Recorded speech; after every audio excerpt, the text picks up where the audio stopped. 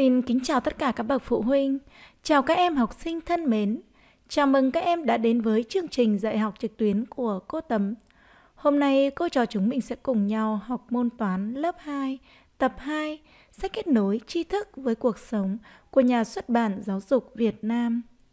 Chủ đề 8, phép nhân, phép chia.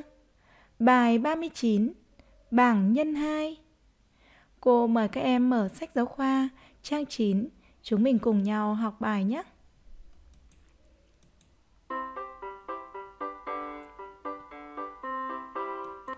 Trước tiên, cô trò chúng mình sẽ cùng nhau đi vào phần khám phá.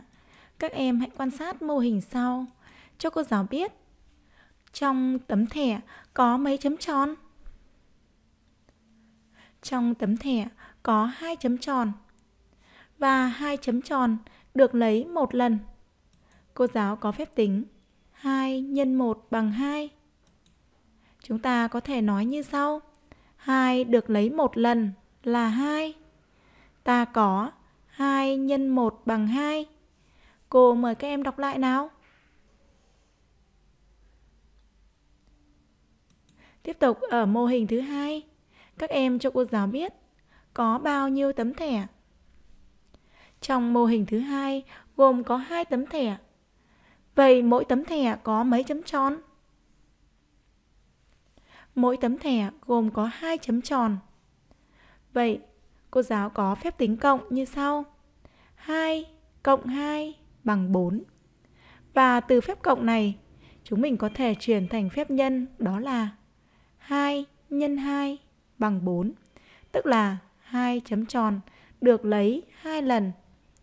Chúng ta đọc phép tính này là 2 nhân 2 bằng 4. Cô mời các em đọc lại nào. Tiếp tục quan sát mô hình thứ ba cho cô giáo biết có mấy tấm thẻ.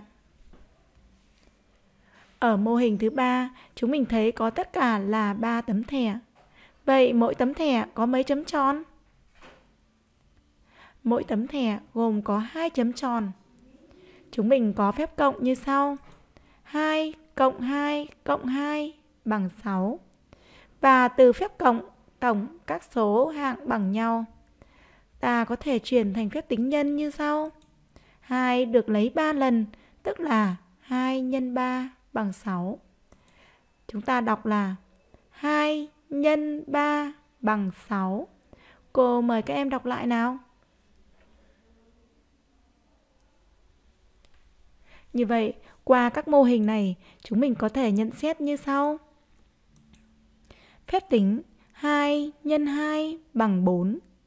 2 x 3 bằng 6. Chúng ta có thể kết luận là thêm 2 vào kết quả của 2 x 2, ta sẽ được kết quả của phép tính 2 x 3. Vì 2 x 2 bằng 4 là kết quả của phép nhân 2 x 2 Chúng ta thêm 2 vào kết quả của 2 nhân 2 đó là thêm 2 vào 4 thì mình sẽ được 6. Ta sẽ được kết quả của phép tính kế tiếp, đó là 2 nhân 3 bằng 6. Như vậy, qua phần A chúng mình có nhận xét được là phép tính 2 nhân 2 bằng 4 và 2 nhân 3 bằng 6 đó là ta thêm 2 vào kết quả của 2 nhân 2 thì ta sẽ được kết quả của phép tính 2 nhân 3. Tiếp tục chúng mình cùng nhau hoàn thành bảng nhân 2 nhé. Đây là bảng nhân 2. Bây giờ các em hãy dựa vào cách thêm 2 vào kết quả của phép tính trước đó để chúng mình tìm kết quả của phép tính trong bảng nhân 2 nhé. Ở đây có các tính nhân đã có kết quả đó là 2 x 1 bằng 2, 2 x 2 bằng 4, 2 nhân 3 bằng 6. Như vậy chúng ta thấy kết quả của phép tính trước thêm 2 chúng ta sẽ được kết quả của phép tính nhân tiếp theo.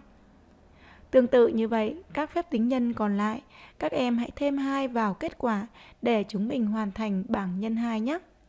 Cô mời các em hãy bấm dừng hình để chúng ta làm bài nào. Cô mời các em quay trở lại màn hình. Bây giờ chúng mình sẽ cùng nhau nêu kết quả của bảng nhân 2 nhé. 2 nhân 4 bằng bao nhiêu? Chúng ta có thể thêm 2 vào kết quả của phép nhân 2 nhân 3 bằng 6. Chúng ta thêm 2 vào kết quả 6 thêm 2 bằng 8. Như vậy kết quả của phép tính 2 x 4 chính là bằng 8 đấy. Hoặc chúng ta có thể dựa vào cách à, tách chuyển phép nhân này thành tổng các số hạng bằng nhau. Đó là số 2 được lấy làm 4 lần. Tức là 4 lần số 2 cộng với nhau cũng có cho chúng ta kết quả bằng 8 đấy. Tiếp tục, phép tính 2 x 5. Chúng ta sẽ thêm 2 vào kết quả của phép tính 2 x 4 bằng 8. Thêm 2 đó là bằng 10. Vậy 2 x 5 bằng 10. Hoặc chúng ta có thể chuyển uh, phép tính nhân thành phép tính cộng. Tổng các số hạng bằng nhau đó là 5 số 2 cộng với nhau. Phép tính 2 x 6, chúng mình dựa vào cách thêm 2 vào kết quả của phép tính 2 x 5 bằng 10. 10 thêm 2 bằng 12. Chúng ta có thể nêu được kết quả của phép tính 2 x 6 chính là bằng 12. Tiếp tục phép tính 2 x 7. Chúng ta sẽ dựa vào kết quả của phép tính 2 x 6 bằng 12, thêm 2 bằng 14. Vậy 2 x 7 bằng 14. Tiếp tục phép tính 2 x 8. Chúng ta sẽ thêm 2 vào kết quả của phép tính 2 x 7 bằng 14. 14 thêm 2 bằng 16. Do đó 2 x 8 có kết quả bằng 16. 2 x 9, chúng mình sẽ dựa vào kết quả của phép tính trước đó đó là 2 x 8 bằng 16, thêm 2 bằng 18. Vậy 2 x 9 bằng 18. Và cuối cùng là 2 x 10 bằng 20. Như vậy chúng mình đã cùng nhau hoàn thành xong bảng nhân 2 dựa vào cách thêm 2 vào kết quả của phép tính trước đó. Ngoài ra các em có thể vận dụng cách chuyển phép tính nhân thành phép tính cộng à, tổng các số hạng bằng nhau để chúng ta có thể à, tính được kết quả của phép tính nhân trong bảng nhân 2 đấy. Qua bảng nhân 2 chúng ta có nhận xét như sau. Đầu tiên, các em hãy quan sát cột thứ nhất. Đó là các số, thừa số đầu tiên. Thừa số thứ nhất đều là số 2. Vì đó là bảng nhân 2 thì thừa số thứ nhất trong phép tính đó sẽ là, đều là số 2. Còn chúng ta quan sát đến cột thứ ba, đó là cột thừa số thứ hai. Thì thừa số thứ hai chúng ta thấy là các số tự nhiên tăng dần từ 1 cho đến 10, lần lượt từ bé đến lớn. Từ số 1 đến số 10 là các số tự nhiên tăng dần. Đó chính là thừa số thứ hai. Và cột tiếp theo chúng ta quan sát thấy đó chính là cột kết quả của phép tính nhân gọi là tích. Tích chúng ta thấy là các số được tăng dần và hơn kém nhau hai đơn vị từ 2 đến 20. Tức là chúng ta thấy ở đây kết quả của phép tính nhân được tăng dần hơn hai đơn vị so với số đứng trước nó và số đứng trước sẽ kém số đứng sau hai đơn vị. Số đứng sau hơn số đứng trước là hai đơn vị theo thứ tự tăng dần. Như vậy chúng ta thấy qua bảng nhân 2 mình có nhận xét về các uh, cột tính như thế. Cột thứ nhất chúng ta nhớ lại đó là uh, các thừa số thứ nhất đều là số 2. Thừa số thứ hai là các số tự nhiên tăng dần từ 1 cho đến 10.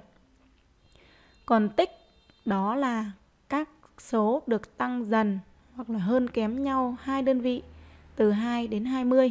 Số đứng trước sẽ kém số đứng sau hai đơn vị và số đứng sau sẽ hơn số đứng liền trước nó hai đơn vị. Như vậy vừa rồi, cô trò chúng mình đã cùng nhau hoàn thành xong bảng nhân 2. Bây giờ các em hãy nghe cô giáo đọc lại bảng nhân 2 và đọc thầm theo cô nhé. 2 nhân 1 bằng 2, 2 nhân 2 bằng 4, 2 nhân 3 bằng 6, 2 nhân 4 bằng 8, 2 nhân 5 bằng 10, 2 nhân 6 bằng 12, 2 nhân 7 bằng 14, 2 nhân 8 bằng 16, 2 x 9 bằng 18, 2 x 10 bằng 20. Cô mời các em hãy bấm dừng hình để chúng ta luyện đọc lại bảng nhân 2 nhé. Cô mời các em quay trở lại màn hình. Về nhà các em hãy đọc thuộc lòng bảng nhân 2 để chúng ta vận dụng vào làm các bài tập nhé. Bây giờ cô trò chúng mình sẽ cùng nhau chuyển sang phần tiếp theo, đó là phần hoạt động.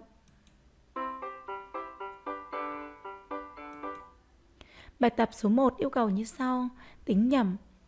Các em hãy quan sát, đây là hình ảnh chú sóc. Và trên những uh, cây đó là những cái uh, hạt rẻ. Chúng ta hãy quan sát trên mỗi hạt rẻ là các phép tính. Vậy, nhiệm vụ của các em là phải thực hiện tính nhẩm kết quả của các phép tính nhân này. Cô mời các em hãy bấm dừng hình để chúng ta tính nhẩm kết quả của các phép tính nhân trong bảng nhân 2 nhé. Cô mời các em quay trở lại màn hình. Chúng mình cùng nhau chữa bài nhé. Phép tính đầu tiên là 2 nhân 4.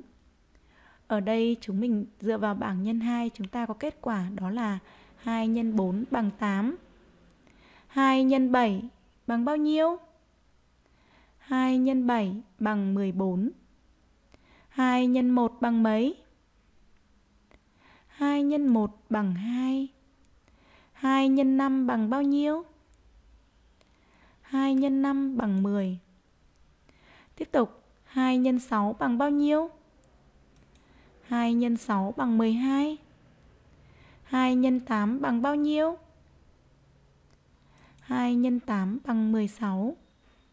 2 x 10 bằng bao nhiêu? 2 x 10 bằng 20.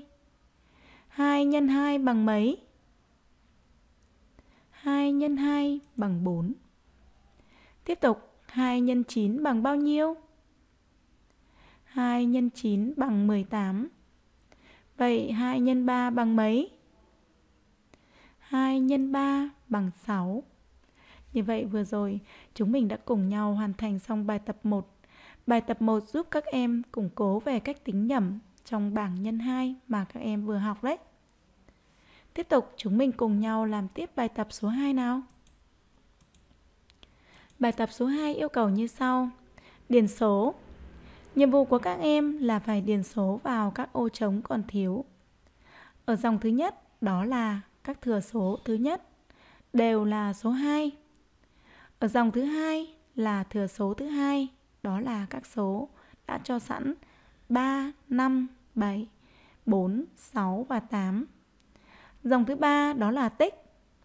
Ở dòng thứ ba là các ô trống có các dấu hỏi chấm.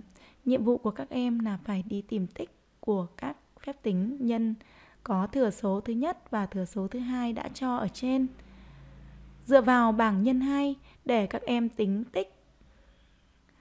Ở đây mẫu cột thứ nhất, thừa số thứ nhất là 2, thừa số thứ hai là 3. Vậy 2 nhân 3 bằng 6. Chúng mình sẽ điền kết quả là 6 vào ô trống phía dưới phần tích. Tương tự như vậy, các ô còn lại các em hãy thực hiện tính kết quả của phép tính nhân để chúng mình tìm tích và điền vào ô trống nhé. Cô mời các em hãy bấm dừng hình để chúng ta làm bài nào.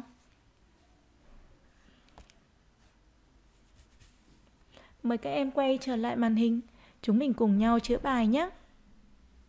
Thừa số thứ nhất là 2, thừa số thứ hai là 5. Vậy 2 x 5 bằng bao nhiêu? Dựa vào bảng nhân 2, chúng mình có thể tính được kết quả đó là 2 x 5 bằng 10. Chúng ta sẽ điền 10 vào ô trống.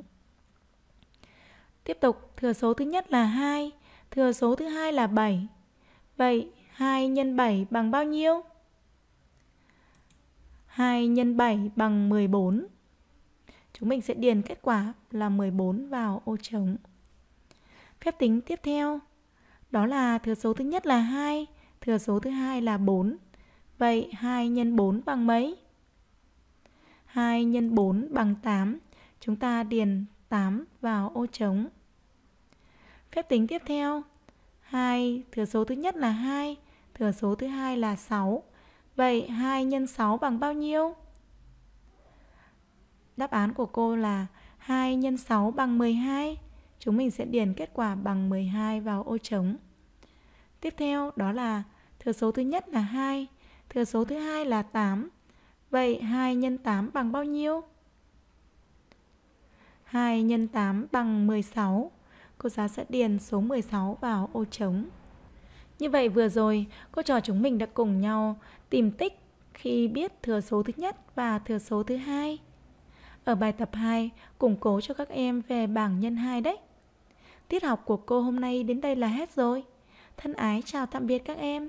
Chúc các em chăm ngoan, học giỏi và hẹn gặp lại các em ở tiết học sau.